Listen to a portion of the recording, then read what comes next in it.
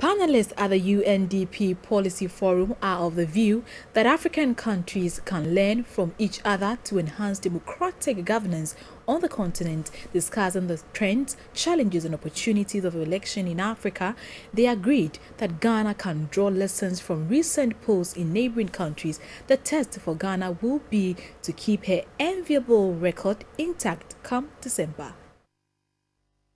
Trends in sub-Saharan Africa indicates that a lot of democratic progress has been made to hold credible elections.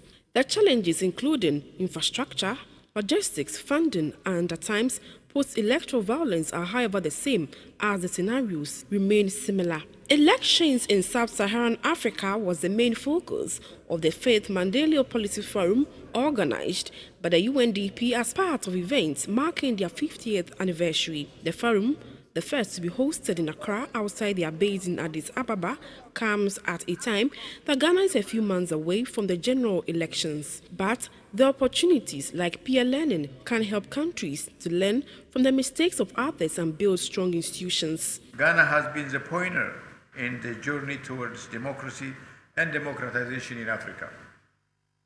Apart from its role in the liberation of our continent, the first sign that a new wave of democratization was spread over in the continent occurred in Ghana in 1992 with the transition from a military government to a democratically elected government here in Ghana.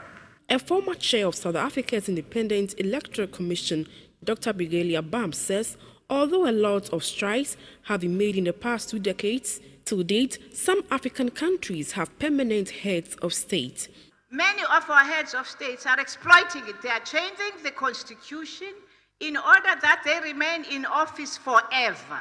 There are countries where we actually have permanent heads of states, and you wonder why we have elections. And when these permanent heads of states are going to be there, uh, you know, you, there's always violence because people are a bit tired. They like the ancestor who has been there for a while but they would like to see change because that's what they think it's about. And that's a crisis for us. Making a case for a credible voters register, the chair of the Electoral Commission, Madame Charlotte Osei, said a robust national identification system is the answer. We need stronger institutions in Africa, absolutely. The electoral commissions themselves have to be stronger, they have to exercise their independence more creating a credible roll when you have a weak national identification system. These are challenges that we have in Africa, and the only way we can address this is by robust national identification systems so that that task is taken off the electoral management body and it does not affect public perceptions of our neutrality. With all these lessons, participants, including representatives of some political parties, say it is time to take a second look at the issue of winner takes all approach and state funding of political parties. For GBC 24, Shelley Bewa reporting.